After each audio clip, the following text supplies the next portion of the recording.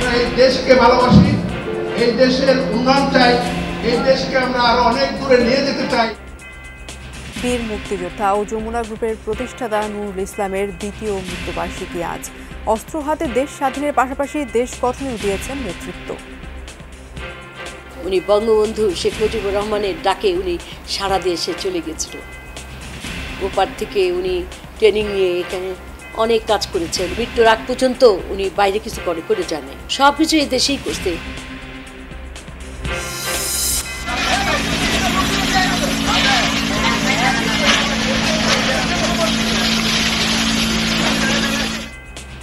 গাজীপুরের পুবাইলে একটি গার্মেন্টস ছুটের গুদামে আগুন নিয়ন্ত্রণের চেষ্টা করছে ফায়ার সার্ভিস কর্মীরা। ঈদের ছুটি শেষে কর্মস্থলে ফিরছে মানুষ, ট্রেনে চাপ থাকলেও নির্বিঘ্ন যাত্রায় স্বস্তি। বিনোদন কেন্দ্রগুলোতে বেড়েছে ভিড়। দেশ ছেড়ে পালালেন শ্রীলঙ্কার প্রেসিডেন্ট গোতাবায়া রাজাপাকসে, ভোরে স্ত্রী আর দেহরক্ষী নিয়ে সামরিক বিমানে পাড়ি জমান মালদ্বীপে।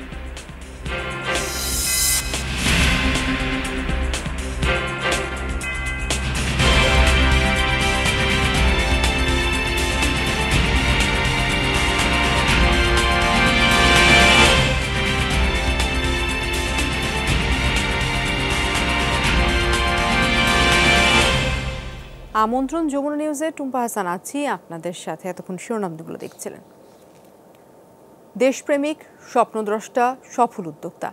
এমন আরও অনেক গুণের সমন্বয়ে পরিপূর্ণ এক মানুষ, বীর মুক্তিযোদ্ধা নুরুল ইসলাম।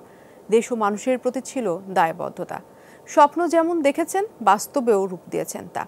তার প্রতিষ্ঠিত যমুনা গ্রুপ এখন লাখো মানুষের জীবিকার অবলম্বন। আজ এই স্বপ্নদ্রষ্টার চলে যাওয়ার দু বছর। এই মহান কর্মবীরের প্রতি আমাদের শ্রদ্ধা ভালোবাসা।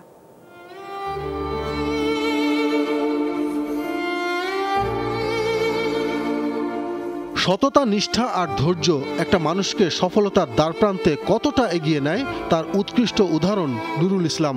অদম্য ইচ্ছা আর মেধা শক্তি দিয়ে সফল হয়েছেন প্রতিটি ক্ষেত্রে।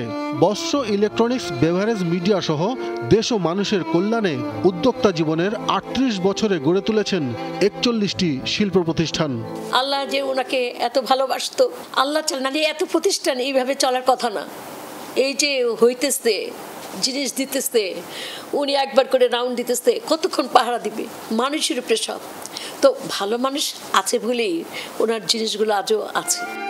দেশের টাকা দেশেই থাকবে শিল্প সম্পদ সবই হবে দেশের জন্য। এমন নীতিতেই বিশ্বাস করতেন উদ্যোক্তা নুরুল ইসলাম। পরিবারের সবাইকে দিয়েছেন একই শিক্ষা। উনি ঋণ খেলাপি ছিলেন ঋণ খেলাপি ছিলেন না উনি বলতেন যে আসল ব্যবসা স্থান ওটা যদি আমি ভালো না রাখি তাহলে আমি কোনো কিছু আগাতে পারব না। মৃত্যুর আগ পর্যন্ত উনি বাইরে কিছু করে করে যায় নাই। বাইরেও আমাদের কোনো ব্যাংকের কোনো টাকাও রেখে নাই। সব কিছু এই দেশেই করছে। বলে যে, দেখো, এই দেশের বাংলাদেশে আমি যদি শিল্প প্রতিষ্ঠান করি, এই দেশের টাকা পয়সা এই দেশেই থাকবে। আমি কেন আমার দেশের টাকা আমি বাইরে দিব? বাইরের দেশের টাকা আনার জন্য এই দেশে মানুষের দেওয়া উচিত। কিন্তু আমি আমার দেশের টাকা কেন বাইরে দিব? সুখ বিলাসিতা যাকে কখনো ছুতে পারেনি। শত ব্যস্ততার মাঝেও ছিলেন সফল একজন বাবা। যতদিন আমি পৃথিবীতে থাকব, ওনাকে তো ভুলে যেতে পারবোই না। উনি আমার সাথেই থাকবে। উনি আমি এটা ভাবতেই পারি না উনি নেই। এটা আমি ভাবতেই পারি না। আমি বলতাম আমার বিয়েতে উনি ছুটি নেন নাই। শুধু বিয়ের দিন উনি বিয়ে করে নিয়ে রেখে পরের দিন উনি অফিস করছে। টকবক তারণ্যেও এগিয়েছিলেন দেশের টানে। প্রিয় মাতৃভূমিকে মুক্ত করতে অস্ত্র হাতে ঝাঁপিয়ে পড়েছিলেন বঙ্গবন্ধুর ডাকে। উনি বঙ্গবন্ধু শেখ মুজিবুর রহমানের ডাকে উনি সারা দেশে চলে গেছিল। ওপার থেকে উনি ট্রেনিং নিয়ে এখানে অনেক কাজ করেছেন। উনি শ্যারাটন হোটেলের কাছে এসে ধরা খায় আর্মস নিয়ে। ওনাকে ধরে নিয়ে কোন ক্যাম্পে নিয়ে ওখানে আটকে রাখল। সেখানে প্রত্যেক দিন ওনাকে যেভাবে মারধর করতো, উনি যেটা বলছেন, ওনাকে ফ্যানের উপরে, সিলিংয়ের উপরে এরকম আটকায় রেখে মারতো। সিগারেটের স্পট দিয়ে এরকম করে করে দিত। আমরা এই দেশকে ভালোবাসি, এই দেশের উন্নয়ন চাই যমুনা গ্রুপের কাণ্ডারি তার স্বপ্ন যাত্রা শুরু করেছিলেন উনিশশো চুয়াত্তর সালে। নুরুল ইসলামের দেখানো পথেই এগিয়ে যাচ্ছে দেশসেরা শিল্প গ্রুপটি। বীর মুক্তিযোদ্ধার অসমাপ্ত কাজগুলো এগিয়ে নেওয়ার দৃঢ় প্রত্যয় এখন উত্তরসূরিদের মাঝে। আবদুল্লাহ তুহিন, যমুনা নিউজ, ঢাকা। গাজীপুরের পুবাইলের মাঝুখান এলাকায় ঝুটের গুদামে আগুন চার ঘণ্টা পর নিয়ন্ত্রণে এসেছে। প্রত্যক্ষদর্শীরা জানায়, ভোর পাঁচটার দিকে একটি ঝুট গোডাউনে আগুনের সূত্রপাত হয়। প্রথমে স্থানীয়রা আগুন নিয়ন্ত্রণে কাজ করে, কিন্তু আগুন অন্যান্য গোডাউনে ছড়িয়ে পড়লে ফায়ার সার্ভিসে খবর দেওয়া হয়। খবর পেয়ে তাৎক্ষণিক টঙ্গী থেকে তিনটি, রাজধানী উত্তরা থেকে একটি ও গাজীপুর সদর থেকে একটি ইউনিট আগুনটি নিয়ন্ত্রণে আনে। এখন পর্যন্ত কোনো হতাহতের খবর পাওয়া যায়নি বলে জানিয়েছে ফায়ার সার্ভিস। ঈদ উদযাপন শেষে নগরীতে ফিরছেন অনেকেই। কমলাপুর রেল স্টেশনে যেতে চাই সহকর্মী আশিক মাহমুদের কাছে জানতে চাইব, আশিক, এই ঘণ্টার অবস্থা। ঈদ উদযাপন শেষে বাড়ি ফিরছেন যারা, তাদের অভিজ্ঞতা কি ট্রেন যাত্রার সম্পর্কে? ধন্যবাদ আপনাকে। অফিস আদালত কিন্তু ঈদের পরে গতকাল খুলেছে। আজ আজ দ্বিতীয় দিন। আমরা গতকাল যেমন দেখেছিলাম, অসংখ্য মানুষ যারা ছুটি শেষ হয়ে গেছে, তারা ঢাকায় ফিরছে। আজও কিন্তু সেই চিত্র একই রকম সবাই কিন্তু যারা, যাদের ছুটি শেষ হয়ে গেছে, তারা ইতিমধ্যে ফিরতে শুরু করছে। আমরা সকাল থেকে দেখেছি যারা গ্রামে গিয়েছিল, পরিবার পরিজনের সাথে ঈদ উদযাপন করতে, তারা কিন্তু আবার পরিবার পরিজনকে নিয়ে ফিরে আসছেন। প্রচুর সংখ্যক যাত্রীকে আমরা দেখেছি সকালে কমলাপুর রেল স্টেশনে। তারা খুলনা, রাজশাহী, রংপুর, দিনাজপুর, এইসব জায়গার যেসব যাত্রী, এইসব এলাকার বেশিরভাগ যাত্রী আসলে ট্রেনের উপর নির্ভরশীল। সেই যাত্রীগুলো ট্রেনে করে আসলে ফিরছেন। আমরা দেখেছি ট্রেন ভর্তি করে মানুষজন আবার ঢাকায় ফিরতে শুরু করেছেন। অর্থাৎ যেহেতু অফিস খুলে গেছে, ঈদের ছুটি শেষ হয়ে গেছে। যেসব মানুষ ঢাকা ছেড়ে গিয়েছিল তারা তারা ফিরছে এবং ফিরে চলে আসছে এবং তাদের কর্মস্থলে যোগ দিচ্ছে। আমরা কালকেও যেমন দেখেছিলাম যে মানুষ, অসংখ্য মানুষ ট্রেনে করে বাসে, লঞ্চে যে যেভাবে পেরেছে ঢাকায় আসছেন এবং ঠিক যেভাবে গিয়েছিল মানুষ, যে যেভাবে পেরেছিল, সেইভাবে করেই আসলে আবার মানুষ ফিরতেও শুরু করেছে। কারণ জীবিকার তাগিদে মানুষকে আসলে ফিরতেই হবে। সেই সবারই চাকরি আছে, সবারই ব্যবসা, চাকরি সব কিছু মিলিয়ে এইসব কারণে মানুষকে আসলে একটা পর্যায়ে ঈদের আনন্দ শেষ করে আসলে তারা ঢাকায় ফিরতে শুরু করেছে। আরেকটি বিষয় একটু জানিয়ে রাখতে হবে যে যে পরিমাণ মানুষ আসলে ঢাকায় ঢুকছে, আবার অসংখ্য মানুষ কিন্তু ঢাকা ছেড়েও যাচ্ছে। আমরা এখানে যারা দেখতে পাচ্ছেন যে, এই ট্রেনটি কিছুক্ষণের মধ্যে ছেড়ে যাবে। এই ট্রেনের অসংখ্য যাত্রী আমরা উঠতে দেখেছি এবং তাদের সাথে আমরা কথা বলেছি। তারা আমাদেরকে জানিয়েছে যে, ঈদের আগে প্রচণ্ড ভিড় ছিল। অনেকেই ঢাকায় কোরবানি দিয়েছেন এবং যাতায়াতে প্রচণ্ড ভিড় ছিল। টিকিট ছিল না, যানজট ছিল। পরিবার পরিজন নিয়ে, ভোগান্তি নিয়ে অনেকেই পরিবার, গ্রামের বাড়িতে ঈদ করতে যাননি ঈদের আগে। তারা আসলে এখন ঈদের ছুটির পরে কিছুটা স্বস্তিতে মানুষ এখন ঢাকা ছাড়তে পারছে। যে কারণে অনেক মানুষ এখন ঈদের সেই ছুটি কাটানোর জন্য পরিবার, পরিজন নিয়ে গ্রামের বাড়িতে যাচ্ছেন। তারা বলছেন যে, কোরবানির ঈদের আমেজ যেহেতু আরও বেশ কিছুদিন থাকে, সেই কারণেই আসলে তারা এখন যাচ্ছেন বাড়িতে যাতে একটু স্বাচ্ছন্দ্যে যেয়ে এবং আবার ঘুরে আসতে পারে। কারণ অনেকেই অনেকেই আমাদেরকে বলেছেন যে, এখানে ঢাকায় তারা কোরবানি দিয়েছেন। যে কারণে তারা আসলে ওই সময়টাতে বাড়িতে যেতে পারেনি। সব মিলিয়ে কমলাপুর রেল স্টেশনের চিত্র যদি একটু সার্বিক চিত্র বলি, যে অসংখ্য মানুষ যেমন ঢাকায় ফিরছে জীবিকার তাগিদে, আর অসংখ্য মানুষ কিন্তু আবার ছুটির জন্য, ছুটি কাটাতে অনেকে ঘুরতে যাচ্ছেন, অনেকে পরিবার পরিজন পরিবারের আত্মীয় স্বজন বা যাদের আত্মীয় স্বজন বাড়িতে যাচ্ছেন, কেউ দাওয়াত খেতে যাচ্ছেন, এই চিত্রগুলোও কিন্তু রয়েছে, টুম্পা। ধন্যবাদ আপনাকে কমলাপুর স্টেশনে। যারা ট্রেনে বাড়ি ফিরছেন এবং যাচ্ছেন ঢাকা ছেড়ে, তাদের খবর জানছিলাম। পদ্মা সেতুর জাজিরা প্রান্তে যেতে চাই। সকর্মী প্রদ্যুৎ কুমার সরকার আছেন আমাদের সাথে। যদি প্রদ্যুৎ আপনার কাছে জানতে চাই আপনি যে অংশটি আছেন, সেখানে সড়কের চাপ কেমন দেখছেন ঢাকামুখী?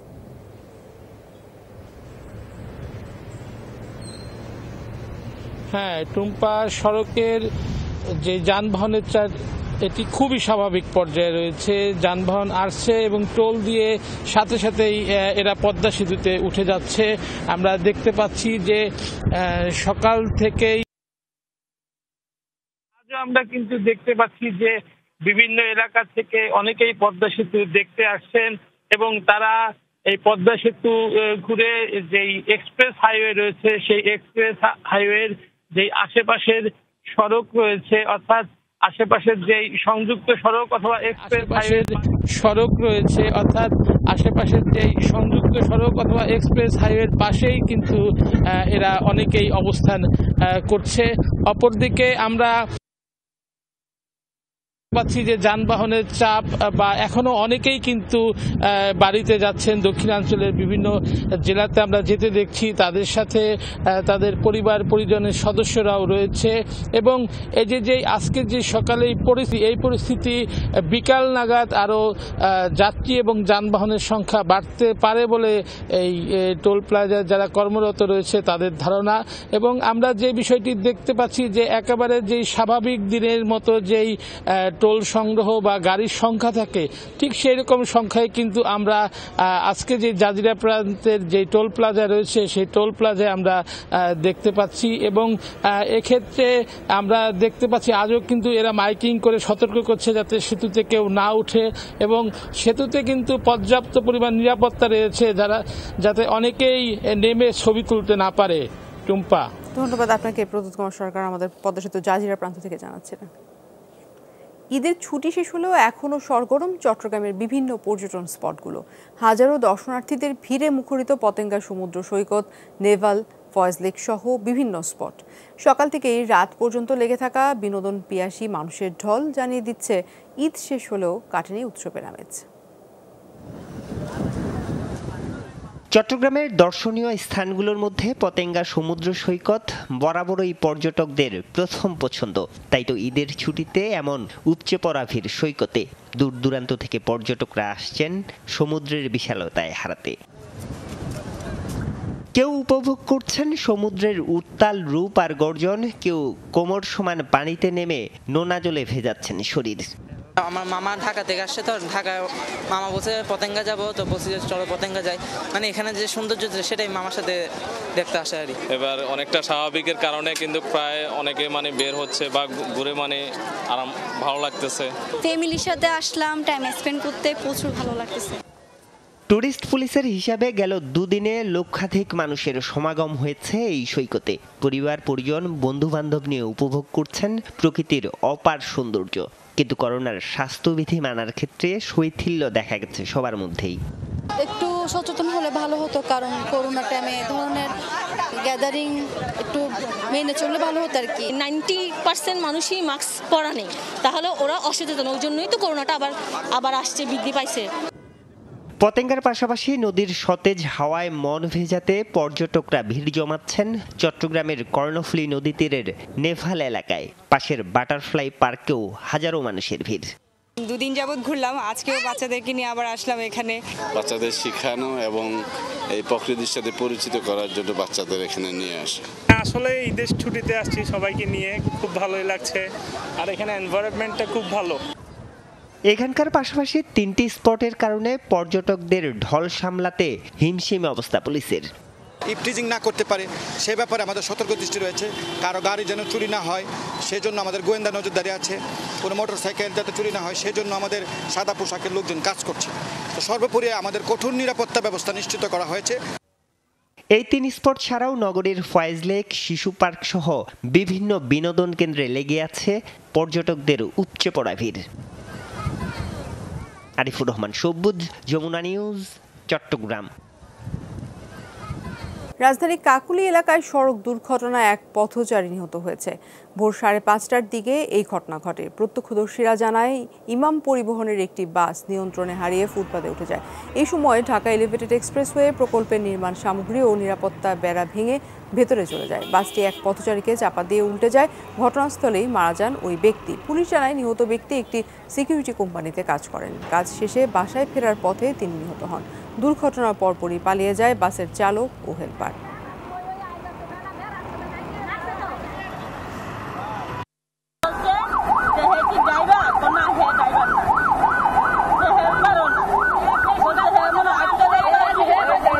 আমরা দৌড়ে আয়া দেখি দৌড়ে আয়া দেখি আর কি কোনো লোকজন নাই। শুধু এটা বাস টাস বাংকাছে বাইকটা ভিতরে তিনজন লোক আছে। ওরা গাড়িতে মুসকি বাইরে দেখলাম, কোনো লোক নেই। বিপ্লব গতিতে চালাইলে একটা সিকিউরিটি গার্ড সামনে পড়তে পারে। তাৎক্ষণিক সে হার্ড ব্রেক করলে গাড়িটি উল্টে যায়, পথচারী একজন মারা যায়। জৌলুস সারাচ্ছে পোস্তার কাঁচা চামড়ার ব্যবসা। এলাকার পরিবেশ ও ব্যবস্থাপনা নিয়ে প্রশ্ন তো আছেই। মরার ওপর খাড়ার ঘা হয়েছে রাজধানীর আশেপাশের অস্থায়ী আড়তগুলো। ব্যবসায়ীরা বলছেন, সাভারে ট্যানারি পল্লীর পাশে কাঁচা চামড়ার আলাদা জোন করে দিলে জটিলতা কমবে। কিন্তু এখনও জমি নির্ধারণ করা যায়নি। অন্যদিকে ইউরোপের বাজার হারিয়ে মাথায় হাত ট্যানারি মালিকদের। হাজারিবাগের পরিত্যক্ত জমি নিয়ে সিদ্ধান্ত চান তারা। তহিদ হোসেনের রিপোর্ট। পোস্তার আড়ত, সড়ক আর মানুষে মিশে আছে বাংলাদেশের ঐতিহ্য। মূলত কাঁচা চামড়ার কেন্দ্র হিসেবেই চেনা এই এলাকা। ব্যবসাও আগের চেয়ে অনেক পরিণত, অথচ বর্জ্য, যানবাহনের বিশৃঙ্খলা আর দুর্গন্ধ যেন পোস্তার পিছু ছাড়ছে না। তাই প্রশ্ন, ট্যানারির মতো পোস্তার আড়ত কি সরিয়ে নেওয়া উচিত? পোস্টার থেকে তো নতুন কোন জায়গায় যেতে চায় না কেউ। এখানে আরদ আছে পূর্বপুরুষরা করে আসছে, আমরাও করে আসছি। আমরা এখান থেকে প্রস্তাব থেকে যাবে। না প্রস্তাবটা হচ্ছে আমরা এখানে থাকি। বিগত ব্রিটিশ পিরিয়ডের থেকে আমার বাপ দাদার দাদার আমলের এটা ব্যবসা প্রতিষ্ঠান। ওরা ওদিকে নিয়ে গেলে তাহলে চামড়া শিল্পটাতে তো চেনারি আলাদা সব ইয়ে করতেছে। গভর্নমেন্ট আমাদেরকে একটা জমি বরাদ্দ করে দেবো। যে আপনাদের এই এলাকাটা আপনাদেরকে দেওয়া হলো এই কাঁচা চামড়া আরও যারা করবে তারা এখানে এই ব্যবসাটা করবে।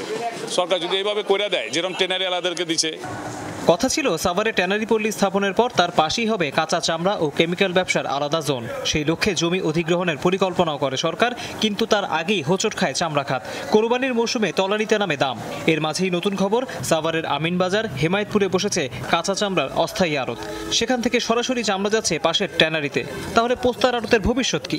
ওখানে গেলে তো আমাদের সব কিছু প্রয়োজন হবে। একটা পল্লী নিয়ে যেতে হবে, যেখানে ফাঁড়ি থাকবে সব কিছু ব্যবস্থা থাকবে। তো ওই রকম আশা দিয়েছে সরকার আমাদেরকে।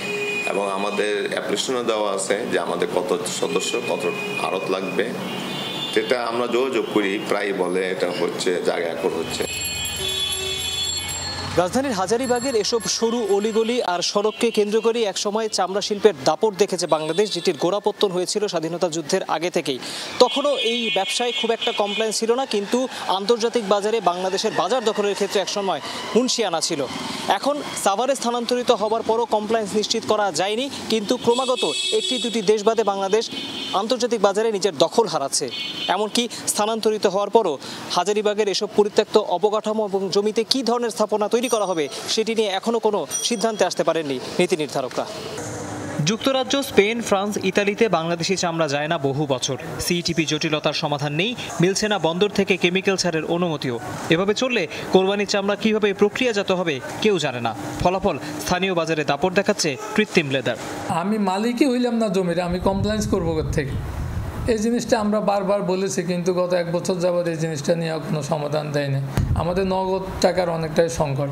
তারপরে আমাদের হাজার বিঘার জায়গাটা আজকে পাঁচ বছর, এটা কিন্তু এখনও রেড জোন অবস্থায়। সাভারে ট্যানারি পল্লীতে স্থানান্তর হয়েছে একশো বাষট্টিটি কারখানা, তবে কার্যক্রম শুরু করতে পারেনি সবগুলো। তৌহিদ হোসেন, যমুনা নিউজ, ঢাকা। নগরীর পরিষ্কার পরিচ্ছন্নতা শুধু সিটি কর্পোরেশনের একার পক্ষে সম্ভব নয়। নাগরিক সমস্যা ও দুর্ভোগ সমাধানে দরকার সমন্বিত উদ্যোগ। কোরবানি ঈদ পরবর্তী সাধারণ মানুষের সচেতনতা ও সিটি কর্পোরেশন আন্তরিকতা এবারে রাজধানীর সিংহভাগ এলাকায় ছিল পরিচ্ছন্ন।